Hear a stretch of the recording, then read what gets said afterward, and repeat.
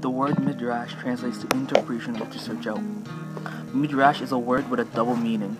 It could refer to the compilation of the rabbi's substantial body of commentary on the Bible, or it could refer to the mode of rabbinic interpretation prominent in Talmud literature.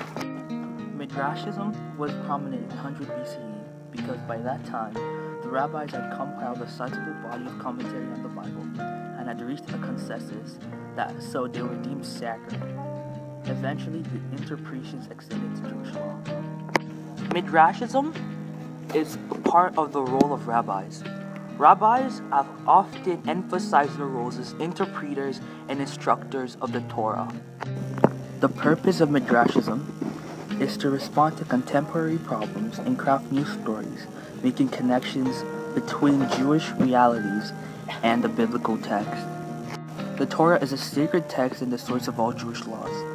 The Torah is often vague, general, or ambiguous with laws. As a result of this, it is difficult to determine what a Jewish law from the Torah would be in practice. Two other rabbinic interpretation books are the Mishnah and the Talmud.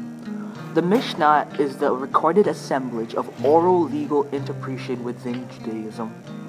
The Talmud is a accumulation of studies, commentary, anecdotes, allegories, and mental guides influencing day to day Jewish observance and thought.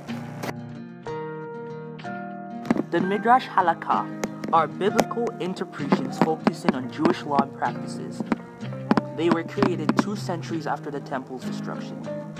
The Midrash Halakha includes the Mekhilta on Exodus, the Sifra on Leviticus, and the Sifrei on Numbers and Deuteronomy. Two famous styles of the Midrash Halakha are Rabbi Yishmael style and Rabbi Akiva style. Rabbi Yishmael wrote assuming the Torah speaks human languages, while Rabbi Akiva style wrote assuming each and every word and meaning had its own spiritual significance. The Midrash Agadah explores ethical ideas, biblical characters, and narrative moments. This category of the Midrash has an interplay of reverence for text and theological creativity. The Midrash Rabbah, or the Great Midrash, is a set of collections linked to the Torah and the Ketuvim. The most famous rabbinic midrash is the legend of Abraham as a young child smashing idols. This shows that even as a young child, he was receptive to the voice of God.